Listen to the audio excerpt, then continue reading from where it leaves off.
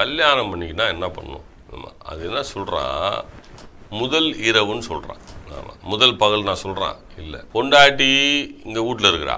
இவன் நைட்டு வேலைக்கு போயிடுறான் இல்லை இவன் நைட்டு வீட்டில் இருக்கிறான் பொண்டாட்டி நைட்டு வீட்டில் போயிடறான் call centres BPO IT IT இப்படிலாம் வந்துருச்சுல்ல?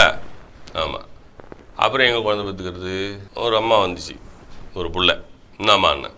இன்னும் குழந்தை இல்லைங்க. எங்கள் வீட்டுக்காரர்? அவர் வந்து துபாயில் இருக்கார். இப்போ நீ மட்டும் ஏன் வந்த? இல்லை எனக்கு செக்கப் பண்ணிக்கலான்னு வந்து என்ன பிரயோஜனம்? ஒரு பிரயோஜனம் கிடையாது. மூடுகாரன் வரும்போது வா அப்படின்னு சொல்லி அனுப்பிட்டோம். இது ரெண்டு பேரும் வரணும். ரெண்டு பேரும் வரணும். ஒருத்தரால் நடக்கிறதா நடக்கிறது? இல்லை பல பேர் பொண்டாட்டியோட குடும்பம் நடத்துறதில்ல. செல்ஃபோனவே குடும்பம் நடத்திட்டுருக்கான் ஆமாம் செல்ஃபோன்லேயே குடும்பம் நடத்திட்டுருக்கான் என்னத்தை என்னத்த பண்ண முடியும் நம்ம? ம். அந்த மாதிரி மன ரீதியாக உளவியல் ரீதியாக கலாச்சாரத்தின் ரீதியாக குழந்தையின்மை வந்து பெருகி வரி கொண்டு இருக்கு தெருக்கு தெருக்கு ஆஸ்பத்திரி திறந்து வச்சுட்டு கல்யாணம் பண்ணவங்களாம் கூப்பிட்றான். இங்கே வா. என்ன குழந்தை இல்லையா? முட்டை கொடு. உயிரணு கொடு. நாங்கள் சேர்த்து வைக்கிறோம். நீங்கள் ரெண்டு பேரும் சேர்ந்து குழந்தை பெற்றுக்கிறோன்னு எவனும் சொல்ல மாட்டேறான் நாங்கள் சேர்த்து வைக்கிறோம். நாங்கள் சேர்த்து வைக்கிறோம். அப்புறம் என்னத்து கல்யாணம்? பெட்ரூம் போடானா இவன் ஆஸ்பத்திரிக்கு போயின்னு இருக்கான். என்னத்த பண்ணுறது நான் கேட்குறது நியாயமா இல்லையாங்க? ஆஸ்பத்திரிக்கு போய் தான் வந்து முட்டையை கொடுத்து உயிரணுவை கொடுத்து உயிரணுவை கொண்டு போய் முட்டையில் வைக்கிற டெக்னாலஜி வளர்ந்துருச்சு.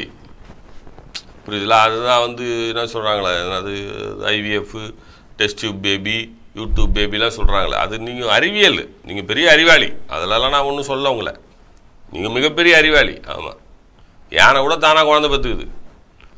மாடு கூட தானாக குழந்தை பெற்றுக்குது. நமக்கு மட்டும் அறுவை சிகிச்சை. நாம் அறிவாளி. நாம் அறிவாளி. விஞ்ஞானத்தில் வளர்ந்துட்டோம் நம்ம. விஞ்ஞானத்தில் வளர்ந்துட்டோம். புத்திசாலி இல்லை நம்ம. ஆமாம் அந்த காலத்தில் இருந்தாலும் முட்டாள். நம்ம முன்னோர்கள் அறிவே இல்லை. அதனால தான் பத்து குழந்தை ஆஸ்பத்திரிக்கே போகாமல் பார்த்துக்கிட்டான் பத்து குழந்தை ஆஸ்பத்திரிக்கே போகாமல் பார்த்துக்கிட்டான் தஞ்சாவூர் பெரிய கோயில் கட்டினவன் அறி முட்டாள் அவனுக்கு ஒன்றும் தெரியாது. ஆனால் கட்டிட்டான் கோயில். அவன் அறிவாளி கிடையாதுல்ல.